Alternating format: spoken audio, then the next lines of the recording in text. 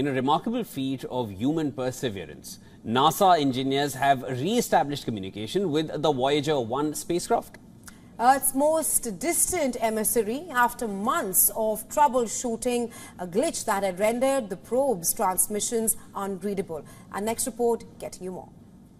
4 p.m. Central Time, 4 p.m. Lost in translation, for months, NASA received nothing but garbled data from Voyager 1, the furthest human-made object in space.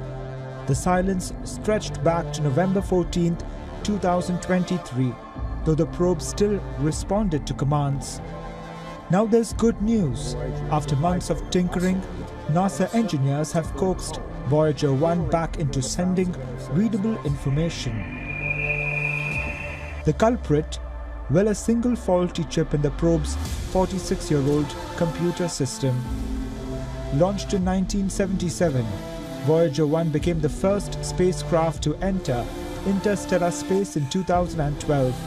It's currently a mind-boggling 24 billion kilometers from Earth.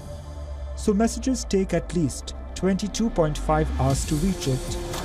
Voyager 1 has a traveling companion, its twin, Voyager 2, which also left the solar system in 2018. Both probes carry a fascinating message for any potential alien life forms they might encounter, a golden record. These gold-plated copper discs, about the size of a record album, hold the story of our planet.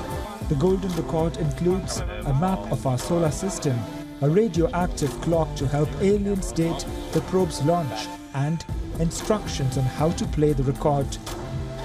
With their power banks expected to be depleted after 2025, the Voyager probe's journey will continue in silence, wandering the Milky Way for eternity, silent ambassadors of humanity's boundless curiosity and technological prowess.